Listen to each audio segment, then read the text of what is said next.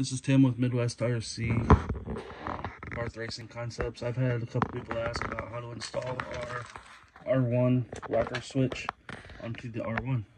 So we're going to do a little video on how to do that. Unpack this. Major thing to do is to have your soldering iron turned way down. I use a little flux.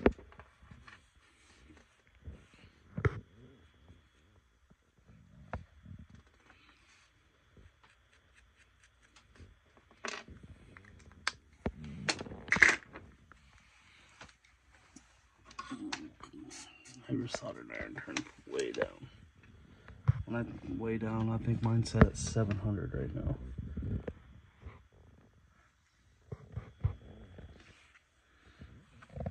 One side.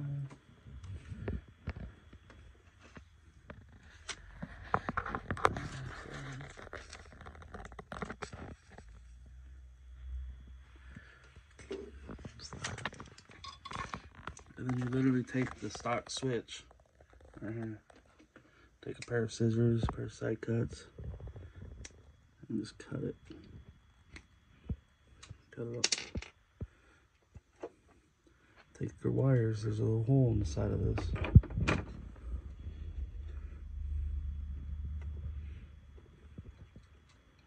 Feed them up.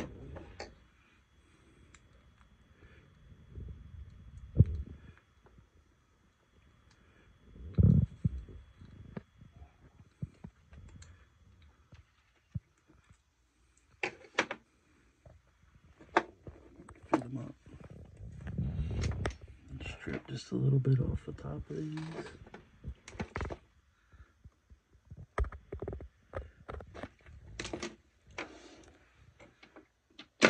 Um, flux pin.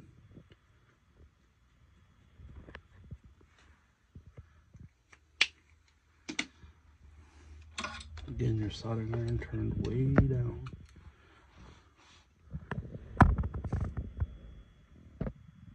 Don't hold it on there too long because you'll you'll kill your kill your wires. And then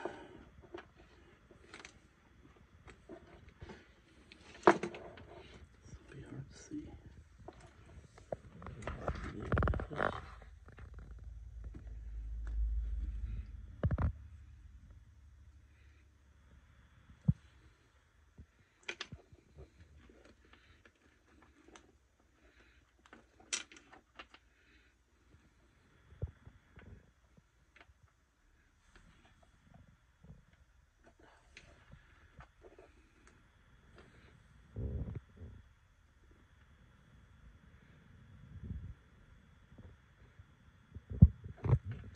Like that.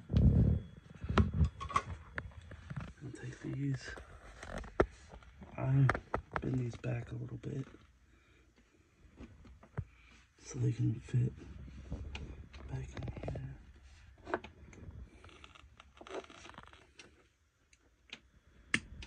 Like so. There you go.